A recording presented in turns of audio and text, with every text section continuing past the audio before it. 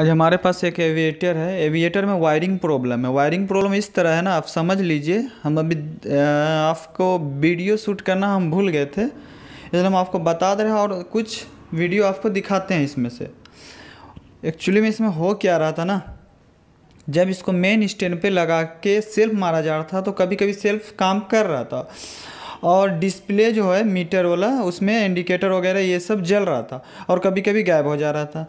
और जब इसको हाफ़ स्टैंड पे किया जाता था मीन्स मेन स्टैंड से इसको रिमूव कर दिया जाता था तो ये इसका पूरा डिस्प्ले गायब हो जाता मीटर का और साथ ही साथ सेल भी नहीं काम करता था। पर किक से स्टार्ट होता था गाड़ी।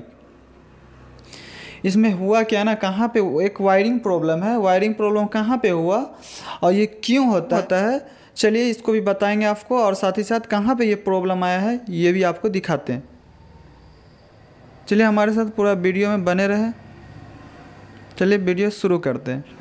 ये एविएटर है देखिए। चाबी ऑन किए डिस्प्ले कुछ नहीं कर रहा है इंडिकेटर का स्विच दिया हुआ है। देखिए चाबी ऑन पोजीशन में है। डायरेक्ट तार को जोड़ के आपको दिखाते हैं कहाँ पे कटा ये सस्पेंशन इतना मूव करता है पीछे का स्कूटी का। कोई भी स्कूटी में ये प्रॉब्लम क्रिएट हो सकता है। देखिए, इसका नेगेटिव, पॉजिटिव दोनों कट गया है।